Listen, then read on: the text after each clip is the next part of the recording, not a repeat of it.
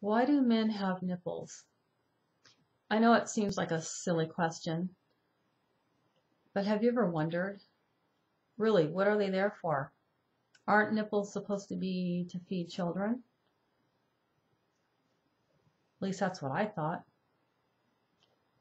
And yeah, they are. So, but let me tell you why men have them. Actually, all mammals have them. What happens is, as the fetus develops, all fetuses start out as female. And after about six to eight weeks, if it's going to be a male, usually, it'll get a Y chromosome.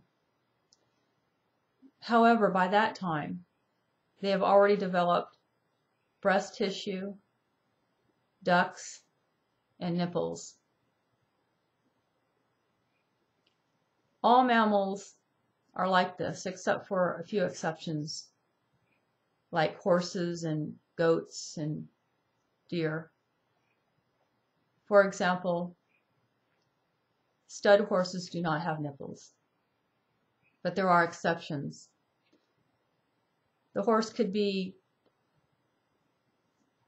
intersex and it could think it's a male and have testosterone and have testicles and it could also have nipples. I've actually have worked around horses like that and what they usually use them for is is teaser studs.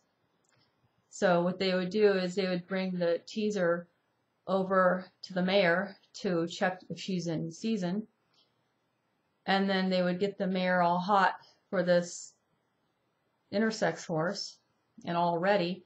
And then as soon as the female, the mare, is ready for breeding, they'll take the intersex horse away and then they will introduce her to the real stud horse. And that's the way it's done in horse breeding.